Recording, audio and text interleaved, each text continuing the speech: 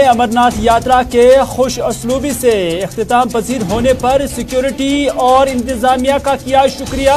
कहा इस साल तीन लाख पैंसठ हज़ार यात्रियों ने शिवलिंगम के किए दर्शन। यात्रा से सयाहत पर कोई असर नहीं पड़ा। साल 2016 के बाद इस साल सबसे ज़्यादा यात्रियों ने गुफा में दी हाजिरी।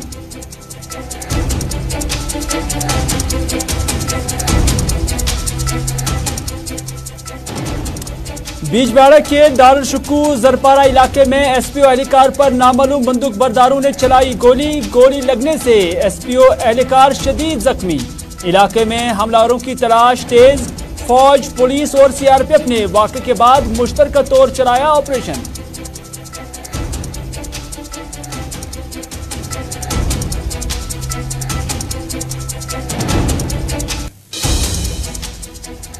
और सरकारी डॉक्टरों को ड्यूटियों का पाबंद रहने के लिए सरकार ने फरमान किया जारी।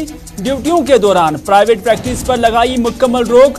मरीजों को प्राइवेट अस्पतालों में रेफर करने के मामला का भी लिया नोटिस। कमेटी बनाकर हकाइक सामने लाने के लिए कार्रवाई शुरू।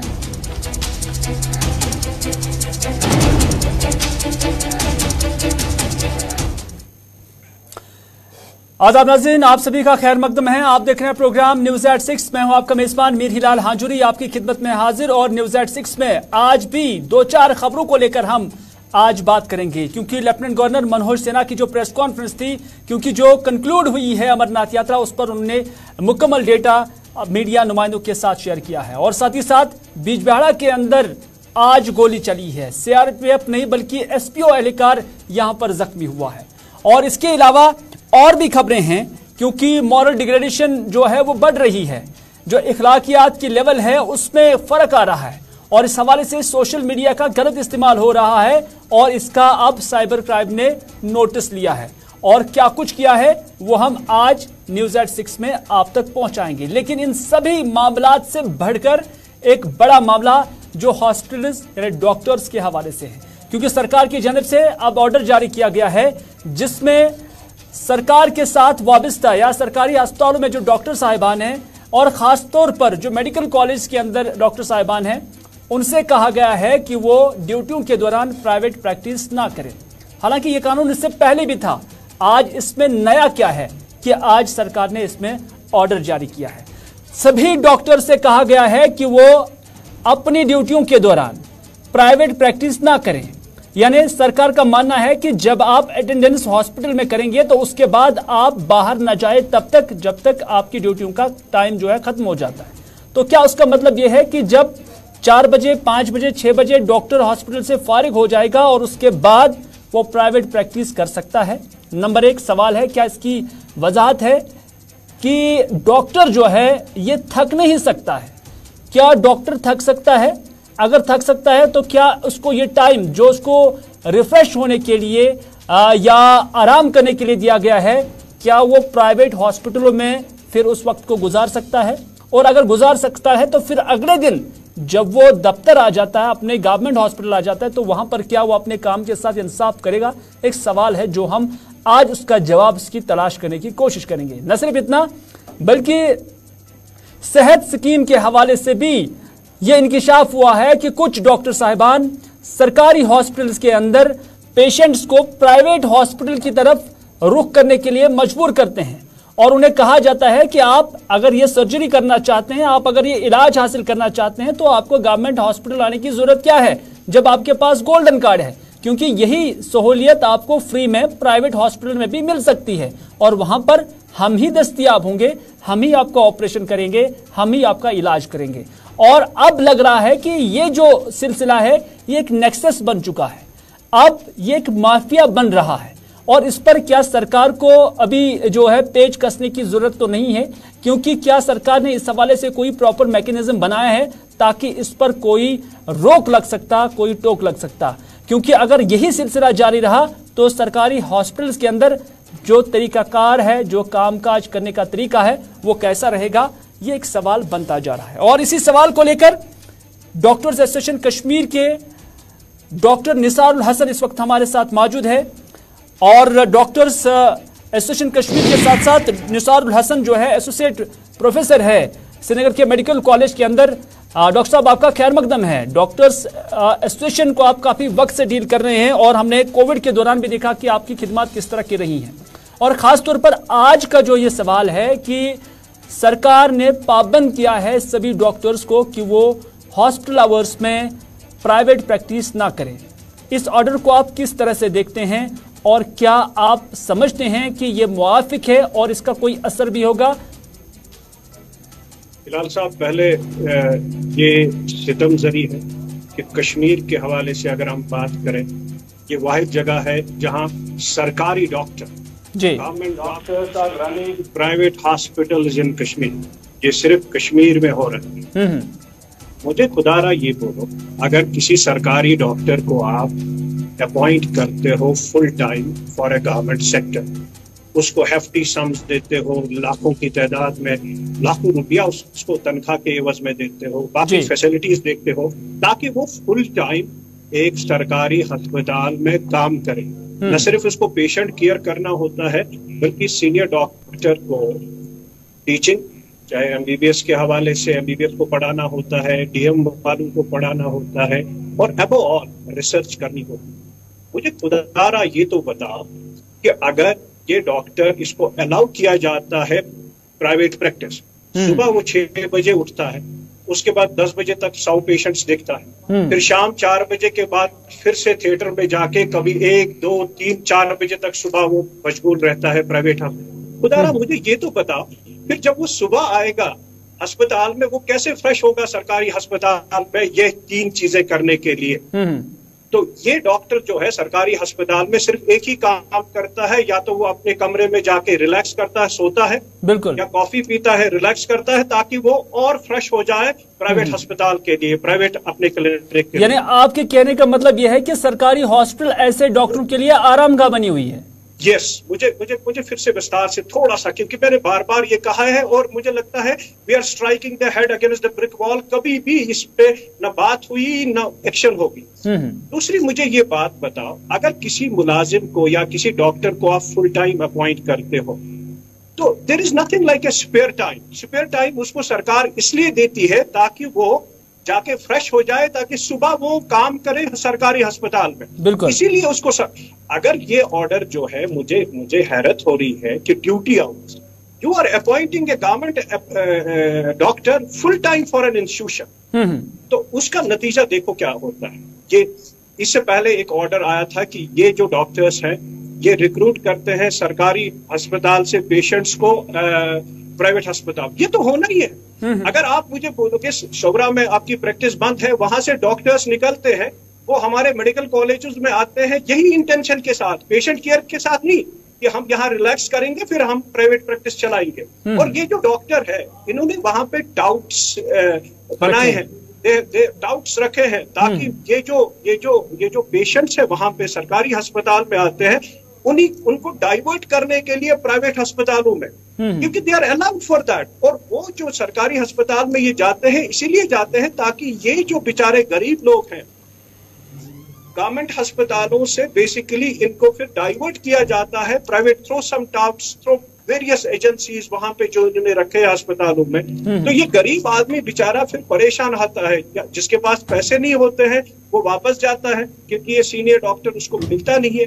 और जो जो बेचारा अब मजबूर होता है वो तो ज़मीन क्या बेचता है या जेवर अपने बेचता है और फिर इस डॉक्टर को सरकारी प्राइवेट अस्पताल में देख, देखता है। मुझे खुदारा ये तो बोलो अगर इतना सारा पैसा इस सरकारी डॉक्टर के बाद आप देखते हो फिर ये बेसिकली ये अस्पताल स्टूडेंट्स के हवाले किया जाता है at a time when services are needed most emergency के दौरान सपोज़ चार बजे के बाद कोई हार्ट अटैक लेके आता है कोई इमरजेंसी लेके आता है बाकी स्पेशलिटीज के वहाँ पे वो स्टूडेंट्स पा, पाता है। तो इसका ये मतलब है कि इनवेरिबली जब वो स्टूडेंट्स बेचारे वो देखते हैं they can not handle complicated cases या तो बेचारा वो मॉर्बिड हो जाता है और most of the patients die because students are taking care क्योंकि उन उस टाइम पे ये जो सीनियर डॉक्टर है जिसको रहना होता है अस्पताल में 24 four hours he is in the private clinic seeing patients तो आप भी देखो जिस तरह से पेशेंट्स अस्पतालों में निकलते हैं they are dissatisfied with the care वो मुतमिन ही नहीं होते हैं। रीजन यही है क्योंकि वो जो डॉक्टर्स है जिनको होना चाहिए अस्पताल में वो बेसिकली अपने प्राइवेट क्लिनिक्स पे होते हैं। हम्म। एक माफिया सा बन गया है एक नेक्सस सा बन गया है डाइवर्शन ऑफ़ पेशेंट्स होते हैं और इसका इलाज एक ही है। You can not allow dual practice of doctors एक डॉक्टर जो आ, सरकारी अस्पताल के लिए अपॉइंट होता है he has to be full time for the poor patient जो बेचारे वहाँ पे आते हैं दूर दूर से।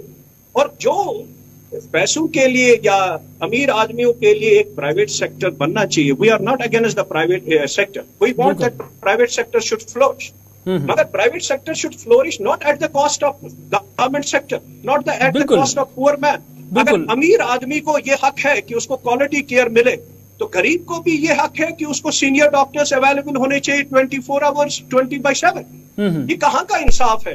ये बेचारा गरीब आदमी जो तनख्वाह हमको मिलती है ये उसकी टैक्स टैक्स से मिलती है हम्म। ताकि वो इसलिए टैक्स देता है ताकि उसको फ्री हम्म। इलाज मिले सरकारी अस्पताल में हम्म। लेकिन वो परेशान है हर हाल में परेशान है बिल्कुल डॉक्टर साहब चूँकि यहाँ पर भी हम देख रहे हैं कि न सिर्फ़ मुल्क के बड़े बड़े हॉस्पिटल्स जो हैं वहाँ पर भी सरकारी डॉक्टर जो है वो प्राइवेट प्रैक्टिस नहीं करते हैं इन्हें प्राइवेट हॉस्पिटल्स प्राइवेट इंस्टीट्यूशंस जो है वहाँ पर ज़्यादातर अलग ही डॉक्टर हैं वो गवर्नमेंट सेक्टर के नहीं है। तो यहाँ पर जम्मू कश्मीर में कोई कानूनी बंदशे तो नहीं है जिसकी वजह से कोई फैसला लेना मुश्किल हो जाता है। इसमें इसमें न सिर्फ़ न सिर्फ़ ये एक प्रोविज़न है अगर आप गवर्नमेंट हॉस्पिटल में गवर्नमेंट एम्प्लॉय है there is no provision for you to do the private practice दूसरा ये जो मेडिकल काउंसिल ऑफ़ इंडिया है जो गवर्न करता है हमको चाहे गवर्नमेंट मेडिकल कॉलेजेस को या इंस्टीट्यूशन को they have also put a bar on private practice of government doctors और न सिर्फ़ ये even courts have observe from time to time क्योंकि बहुत सारी पब्लिक इंटरेस्ट लिटिगेशन होती है। hmm. क्योंकि पेशेंट्स की डेथ्स होती थी इसलिए लोग फिर कोर्ट्स में गए। उन्होंने भी ऑब्ज़र्व किया है जो एकेडमिक करेक्टर है मेडिकल कॉलेजेस का जो पेशेंट केयर डिटोरिएट हो रहा है जो रिसर्च हम्म। बिल्कुल नहीं हो रही है इसकी वजह यह है कि जो जो डॉक्टर्स हैं वो प्राइवेट प्रैक्टिस करते हैं उनका अटेंशन वगैरह जो है वो ज़्यादातर फिर प्राइवेट क्लिनिक्स की तरह रहता है so everybody has observe that the root cause the mother of all evils in these government hospital is private practice और मेरा ये मानना है जब तक ना आप इस ड्यूअल प्रैक्टिस को बंद करोगे those who want private practice they should go full time for private practice those who want academics and patient care for poor people they should be full time for uh, for the government sector.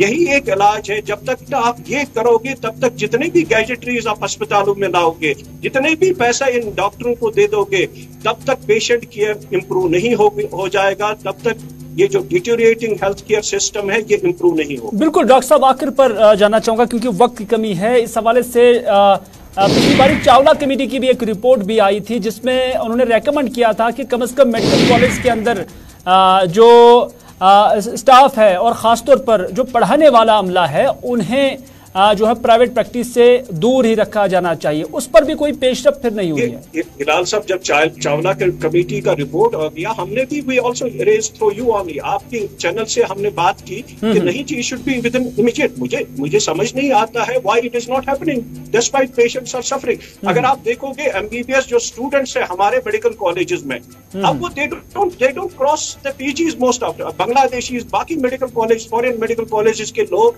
basically they crack back these PGs rather than our medical उसकी यही वजह है क्योंकि जो senior doctors है, वो ज़्यादातर private clinics में होते हैं प्राइवेट अस्पताल चलाते हैं। ये तो ये तो this is strange it is ironical those who are appointed full time for government sector they are running private hospitals in Kashmir चलिए बहुत बहुत शुक्रिया डॉक्टर साहब हमारे साथ जुड़ने के लिए और इस संजीदा और अहम और हसास मौजू पर बात करने के लिए, क्योंकि एट द एंड हम ये कह सकते हैं कि जो बॉल है, वो सरकार के कोर्ट में है। अगर बाकी सरकार हॉस्पिटल्स के अंदर इस निज़ाम को बेहतर बनाना चाहती हैं तो फिर सरकार के पास ही इस हवाले से हल है कि वो सरकारी डॉक्टरों को और ख़ासतौर पर जो मेडिकल कॉलेज के अंदर जो फैकल्टी है, कम अज़ कम उन पर पाबंदी आयद कर सकती हैं कि वो प्राइवेट प्रैक्टिस ना करे। उससे क्या हो जाएगा कि न सिर्फ़ वो डॉक्टर साहिबान सरकारी हॉस्पिटल्स के अंदर अवेलेबल रह सकते हैं और न सिर्फ़ चावला कमेटी की जो रिकमेंडेशन हैं न सिर्फ़ उस पर अमल आवरी हो सकती है और यहाँ पर सूरत हाल बेहतर हो सकता है, बल्कि आम इंसान को चार बजे के बाद, आम एक गरीब को चार बजे के बाद इन सरकारी हॉस्पिटल्स के अंदर सीनियर डॉक्टर साहिबान का जो मशवरा है वो भी मिल सकता है, क्योंकि जैसा कि डॉक्टर निसार हसन ने भी कहा कि ज़्यादातर ये जो हॉस्पिटल्स है, वो पीजी स्टूडेंट्स चला रहे हैं, जिसकी वजह से जो एतबारियत इन हॉस्पिटल्स की थी, वो कहीं ना कहीं खत्म हो रही है।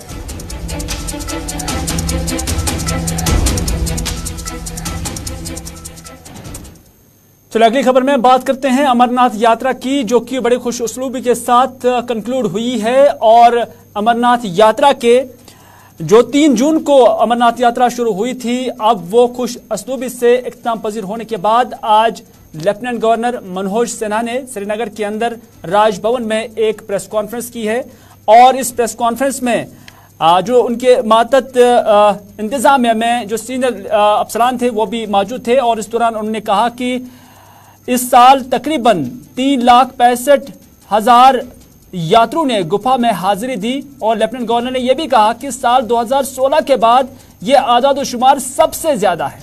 यानी साल 2016 के बाद पहली बार इतने यात्री जम्मू कश्मीर आए और उन्होंने अमरनाथ गुफा में हाजिरी देकर शिवलिंगम के दर्शन किए हैं। लेफ्टिनेंट गवर्नर मनोज सिन्हा ने यह भी कहा कि यात्रा से कश्मीर में सयाहत पर कोई भी असर नहीं पड़ा है और यह भी कहा कि 44 दिन की यात्रा में 20 दिन मौसम बेतरतीब रहा। जिसकी वजह से खलबली बची है। ताहम एडमिनिस्ट्रेशन ने उस सूरत हाल को बखूबी और बेहतर तरीके से डील किया है। उन्होंने यही भी कहा कि बादल फटने के बाद यात्रा को सिर्फ़ तीन दिन के अंदर अंदर ही बहाल किया गया। और उन्होंने दोहरा कि इस दौरान अगरचे यात्रा किसी हद तक मुतासर हुई। ताहम उसके बावजूद तीन दिन के अंदर अंदर ही उस एपिसोड को डील किया गया और यात्रियों को यात्रा के लिए रवाना किया गया है। और आखिर पर उन्होंने इस साल अमरनाथ यात्रा पुरअमन तौर इसके इनका पर फोर्सेस और सिविल एडमिनिस्ट्रेशन और जम्मू कश्मीर के लोगों का भी लेफ्टिनेंट गवर्नर मनोज सिन्हा ने शुक्रिया अदा किया। मित्रों, आप सबके संज्ञान में है कि 30 जून शुक्ल अषाढ़ शुक्ल प्रतिपदा के दिन जो श्री अमरनाथ यात्रा शुरू हुई थी। आज रक्षाबंधन के दिन श्री मुबारक की पूजा के पश्चात वो समाप्त हुई। दो साल कोविड के कारण यात्रा नहीं हो पाई थी और इसलिए पहले भी मैंने कई अवसरों पर कहा कि देश भर के श्रद्धालु दर्शन करने के लिए बहुत लालायित थे। आप सबके ध्यान में कि पहली पूजा 14 जून को हुई थी और 30 जून को जब हमने पूजा की, उसके बाद से दर्शन आरंभ हुए। अभी तक 3.65 lakh R F I D registered person ने दर्शन किए कभी कभी कंफ्यूजन हो जाता है। कई लोग ऐसे ऐप होते हैं जो रजिस्ट्रेशन श्राइन बोर्ड में नहीं कराते हैं। लेकिन बहुत सारे लोग स्थानीय या हमारे सिक्योरिटी फोर्सेस के रेगुलर दर्शन करते रहे। तो जो हमारा इंटीग्रेटेड कमांड सेंटर था श्रीनगर में सब के नंबर आ जाते थे कुल दर्शन करने वाले श्रद्धालुओं की संख्या 3.65 लाख है। अगर पीछे पाँच साल की यात्राओं को आप देखेंगे तो मुझे लगता है कि मोटे तौर पर ये संख्या पाँच वर्ष में लगभग सबसे अधिक है 2016 में दो लाख बीस हज़ार चार सौ नब्बे, दो हज़ार सत्रह में दो लाख साठ हज़ार। चलिए बात करते हैं बिजबाड़ा की, जहाँ पर आज दारुशुकू जरपारा इलाके में तैनात एसपीओ पर नामालूम बंदूक बरदारों ने गोली चलाई, जिसके नतीजे में मस्कुरा एहलकार शदीद जख्मी हुआ। मजकूर एसपीओ की जो शनाख्त है, वो गुलाम कादिर के बतौर की गई है और उसे सब डिस्ट्रिक्ट अस्पताल बिजबाड़ा के अंदर इलाज मुआवजा फराहम किया जा रहा है। आखिरी इतना मिलने तक जो मस्कुरा गुलाम कादिर नामी एसपीओ है, उसे इलाज मुआवजा फराहम किया जा रहा था और उसकी कंडीशन जो है, वो बेहतर बताई जा रही थी। ताहम, इलाके में ये वाक़ा पेश आने के बाद सिक्योरिटी फोर्सेज जिसमें सीआरपीएफ पुलिस और फौज उन्होंने मुश्तर तौर पर हमलावरों की जो तलाश है, वो जारी रखे हुए हैं।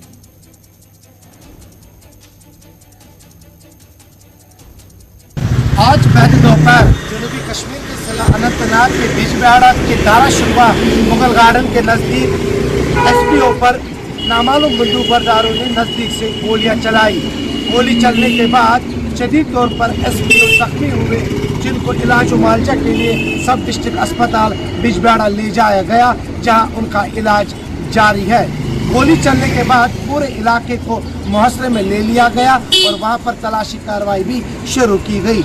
आखिरी इतला मिलने तक सर्च एंड ऑपरेशन जारी था।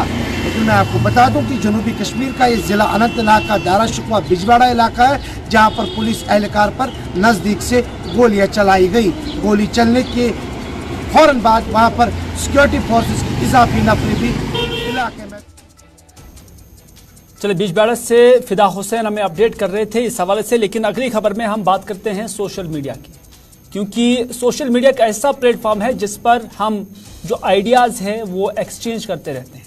लेकिन यही सोशल मीडिया अब गैर महजब और नाजेबा कंटेंट को वायरल करने के लिए भी इस्तेमाल किया जाता है। हालाँकि एक प्लेटफॉर्म अच्छा था और इस पर जो इन्फॉर्मेशन भी आप जो है शेयर कर सकते हैं और इसके साथ साथ जो आपके आइडियाज़ हैं उसको भी शेयर करते हैं। लेकिन उसका मतलब ये नहीं कि इस प्लेटफॉर्म का इस्तेमाल गलत किया जाए। क्योंकि कुछ दिनों से आ, सोशल मीडिया का जो प्लेटफॉर्म है वो गलत इस्तेमाल हो रहा है और उस पर कुछ नाजेबा कंटेंट जो है वो वायरल किया जा रहा है। और माना जा रहा है कि उसमें कश्मीरी ज़ुबान में कुछ खातन या कुछ लड़कियाँ कुछ नाजेबा अल्फाज का इस्तेमाल कर रही हैं, जिसका अब साइबर क्राइम ने या साइबर पुलिस ने नोटिस लिया है और तहकीकात भी शुरू की है। और इस दौरान ये भी कहा जा रहा है कि इस तरह के जो वीडियोस या कंटेंट सोशल मीडिया पर चलाए जा रहे हैं, वो सोशल मीडिया जवाबित के बिल्कुल बरखलाफ है।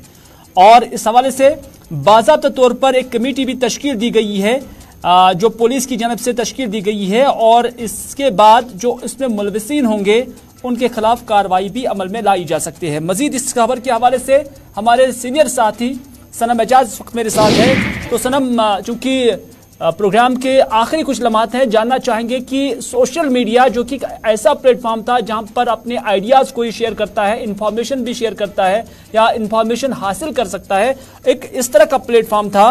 और इससे अब नाजेबा चीज़ों के लिए या जो गैर इखलाक की चीज़ें हैं, उससे फ़रोग दिया जाता है। इस पर क्या कुछ कहना चाहेंगे? अब पुलिस भी इस पर काफ़ी मुतहरक हो रही है। समाज की कितनी ज़िम्मेदारी है? देखिए हिलाल हर सिक्के के दो पहलू होते हैं। सोशल मीडिया हो या सोशल साइट्स हो बहुत कारामद चीज़ है लेकिन इनका नेगेटिव साइड भी है। और नेगेटिव साइड चूँकि हर मुल्क में हर दुनिया में कश्मीर में नया नहीं है लेकिन कश्मीर का एक अपना कल्चर है। यहाँ की हमारी एक तहजीब है हमारा एक कंजर्वेटिव सोसाइटी है। और उस सोसाइटी में ख़ासतौर पर लड़कियों का सोशल मीडिया पर पे गलत इस्तेमाल करना बहुत से लोगों को चुभ रहा है। हमारे जो लोग हैं बड़े बुज़ुर्ग हैं और उन्हीं की शिकायत पर श्रीनगर में पुलिस क्राइम ब्रांच ने बाजाबा तौर पर तहकीकत शुरू की। माफ़ कीजिएगा का साइबर ब्रांच ने साइबर सेल ने तहकीकत शुरू की है। और अभी कुछ देर पहले ही, लगभग 10 से 12 मिनट पहले मैंने पुलिस के एक ऑफिसर से बात की तो उसने कहा, लगभग तीन दर्जन के करीब ऐसे सोशल मीडिया के, खासतौर पर इंस्टाग्राम के अकाउंट्स की निशानदेही हो चुकी है और उन्हें आइडेंटिफाई किया जा चुका है और उन्हें फ़ौरन ही जल्द ही पुलिस उनके वालदेन को ऊपर बुलाएगी, उन्हें बच्चों को भी बुलाया जाएगा। ये लड़कियाँ छोटी उम्र की हैं, चूँकि कश्मीरी ज़ुबान बोलती हैं, इसलिए ज़्यादातर, इस पर ज़्यादा तरजीह दी जा रही है कि हमारी सोसाइटी में इस तरह का ये जो वबा फैला हुआ है इस पर कंट्रोल किया जाए। और ये तीन दर्जन के करीब जो लड़कियाँ हैं देखी गई हैं ये शहर की हैं ये गाँव की हैं रूरल एरिया की हैं और उनकी निशानदेही करते हुए साइबर जो पुलिस जो है वो उनके वालदेन को बुलाएगी उनको काउंसलिंग करेगी और बच्चों को काउंसलिंग करेगी। क्योंकि कोई इतना जो है क्योंकि आज की दुनिया में ये सारी चीज़ें जो है तो कोई गैर कानूनी जो है हम इसे कहें बड़ा जुर्म तो नहीं माना जाता है आज की दुनिया में लेकिन कश्मीर की सोसाइटी में एक बड़ा संगीन जुर्म है हमारे कल्चरल हम्म। वैल्यूज़ हैं। तो उन्हीं उन्हीं को देखते हुए मुझे जिस पुलिस अफसर ने बताया कि उनको इब्तदाई तौर पर उनके वालदेन को बुलाया जाएगा और इन लोगों को, इनके वालदेन, इनके रिश्तेदारों को जो भी होंगे, उनको बुला के एक तरह से काउंसलिंग की जाएगी। और ये तीन दर्जन के करीब जो अकाउंट्स हैं, उनकी निशानदेही हो चुकी है, नाम, पता वगैरह उनका मिल चुका है। बहुत बहुत शुक्रिया, बड़ी खबर। सरम एजाज हमारे साथ शेयर कर रहे हैं कि ये जो सोशल मीडिया अकाउंट है, उन्हें अब उनकी आइडेंटिफिकेशन की गई है और ऐसे पेरेंट्स को, उनके बच्चों को अब ऑनबोर्ड लिया जाएगा, उनकी काउंसलिंग की जा सकती है ताकि आइंदा इस तरह की चीज़ें ना हो जाए। लेकिन हम भी अपनी इस नशियात के ज़रिए यही कहना चाहेंगे, यही पैगाम पहुंचाना चाहेंगे कि चाहे लड़की हो, लड़का हो, जो भी हो सोशल मीडिया का अगर सही इस्तेमाल किया जाए तो बेहतर है, लेकिन ऐसे इस्तेमाल से बाज आना बहुत ज़रूरी है, क्योंकि सनम ने भी कहा कि कंजर्वेटिव सोसाइटी है और हर किसी सोसाइटी में, तकरीबन हिंदुस्तान के हर किसी सोसाइटी में इस तरह की चीज़ें जो है नाजिबा अल्फाज का इस्तेमाल नाजिबा कंटेंट जो है सोशल मीडिया पर आ, जो है आम तौर पर सोसाइटी उसे एक्सेप्ट नहीं कर रही है।